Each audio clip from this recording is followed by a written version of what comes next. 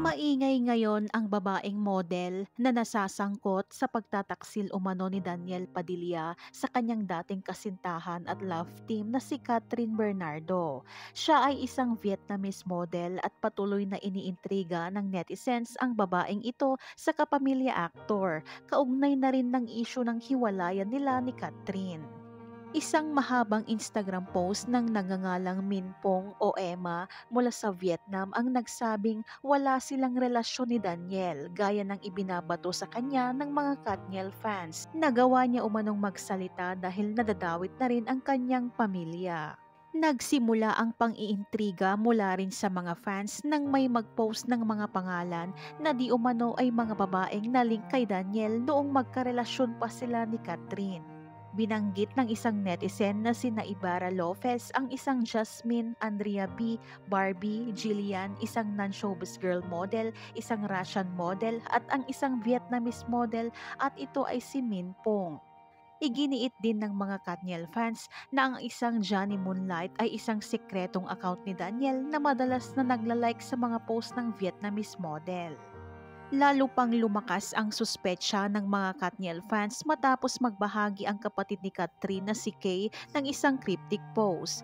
Ayon sa post, we know what you did last summer na binibigyang kahulugan ngayon ng mga netizens kaugnay sa pambababae ni Daniel. Sa kabilang banda, sinabi ng Vietnamese model na na-encounter lamang niya si Daniel nang bumisita ito sa bar ng kanyang kapatid sa Vietnam at wala umano itong mali siya. Narito ang buong post ni Min Pong. Hello, my name is Minpong Emma. Since last year, I have received a lot of messages from fans and supporters of Daniel Padilla, a famous actor in the Philippines. It is known that Daniel visited Vietnam last year with his friends. Prior to his visit in my country, I have never met him.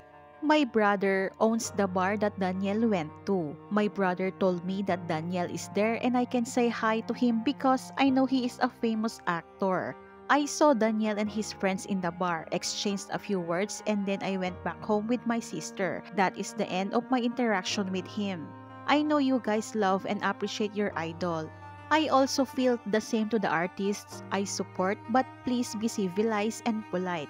Please be a cultured person. You guys have threatened my life and my job, sent messages and spam my family and friends. This is something I would not wish to happen to anyone.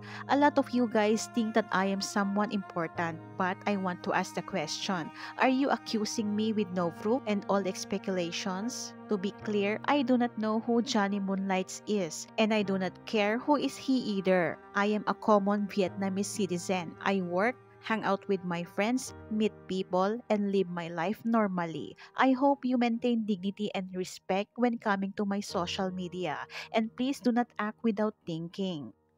Samantala, marami naman ang nakisimpatya sa sinabi ni Emma dahil ang totoo ay wala naman talagang pruweba na may nangyari nga sa kanila ni Daniel Padilla.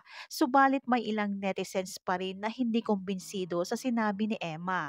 May nagsabi pa na hindi niya umano ito post at may gumawa lamang para sa kanya o di kaya ay tinuruan siya ni Daniel ng sasabihin.